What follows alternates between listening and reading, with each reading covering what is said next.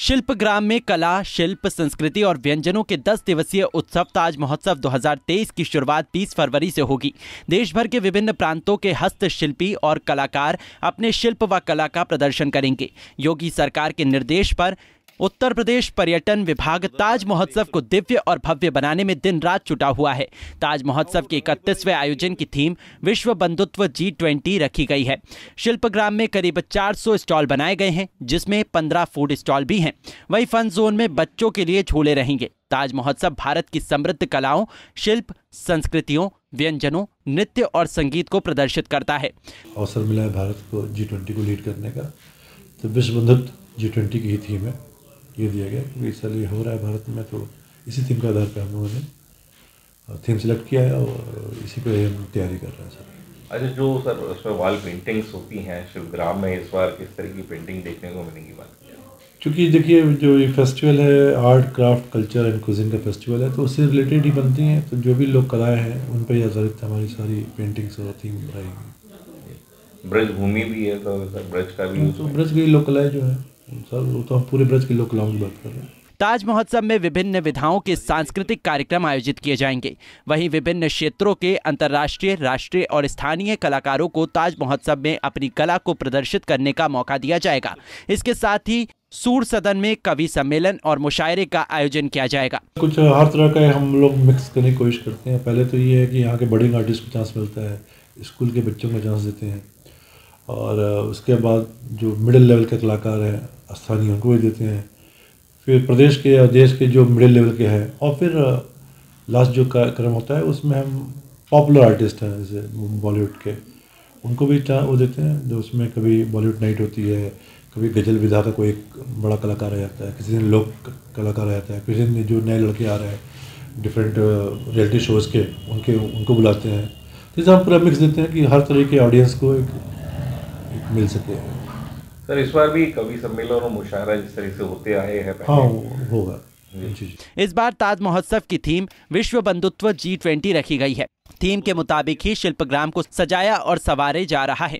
शिल्पग्राम को अपनी मनमोहक चित्रकारी से सजाने का काम ललित कला संस्थान के छात्र छात्राओं को सौंपा गया है।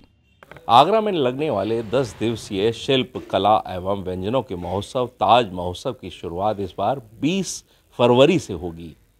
इसकी तिथियों में परिवर्तन कर दिया गया है। आप देख सकते हैं, इस समय शिल्पग्राम में हम खड़े हैं और यहाँ पर तैयारियाँ शुरू हो चुकी हैं। जो इस बार की थीम रखी गई है, वो है विश्व बंधुत्व जी ट्वेंटी।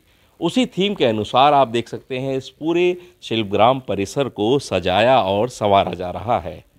जो कलाकार हैं, वो अपनी तुलिका की मदद से, सहायता से आप देख सकते हैं कि जो ये शिल्पग्राम की दीवारें हैं उन पर वाल पेंटिंग की जा रही है।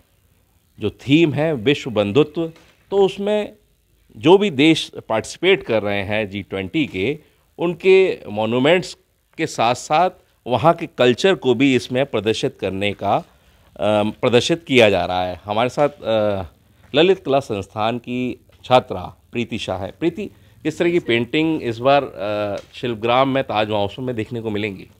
सर आप देख सकते हैं कि जैसा देश में जी ट्वेंटी का कार्य चल रहा है तो आपको जी ट्वेंटी से संबंधित सारी पेंटिंग और जी ट्वेंटी के जो सम, सम्मिलित जो ट्वेंटी कंट्री हैं, उनके फ़ेमस मॉन्यूमेंट आपको देखने को मिल जाएँगे।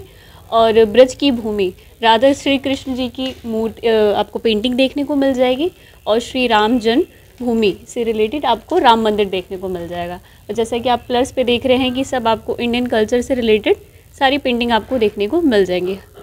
कितने दिनों से आप जुटे हुए हैं इस पूरे काम में? कितनी टीम बड़ी टीम आपने इसमें लगा रखी है? सर अभी इसमें आठ बच्चे लगे हुए थे। आज आप देख रहे हैं कि वैसे ये अठारह से शुरू होने वाला था तो उसके अकॉर्डिंग सारा काम अभी कंप्लीट हो चुका है। तो अभी तो कुछ ही बच्चे रह गए हैं बाकी हम पिछले एक हफ़्ते से काम कर रहे हैं यहाँ पे। जी। तो देख सकते हैं कि ताज महोत्सव की तैयारियाँ ज़ोरों पर हैं। इस बार शिल्पियों की बात की जाए तो करीब साढ़े तीन सौ से अधिक शिल्पी इस बार इस ताज महोत्सव में शिरकत कर रहे हैं। वहीं देश के विभिन्न राज्यों के व्यंजनों का स्वाद भी इस बार आपको इस ताज महोत्सव में चखने को मिलेगा। पंजाब के सी टीवी के लिए आगरा से ब्रिजभूषण। हमसे जुड़े रहने के लिए हमारे YouTube चैनल को सब्सक्राइब करें और नई वीडियो की नोटिफिकेशन के लिए बेल आइकॉन को दबाएँ। अगर आप ये वीडियो Facebook पर देख रहे हैं तो लाइक ज़रूर करें और ज़्यादा से ज़्यादा शेयर करें। धन्यवाद।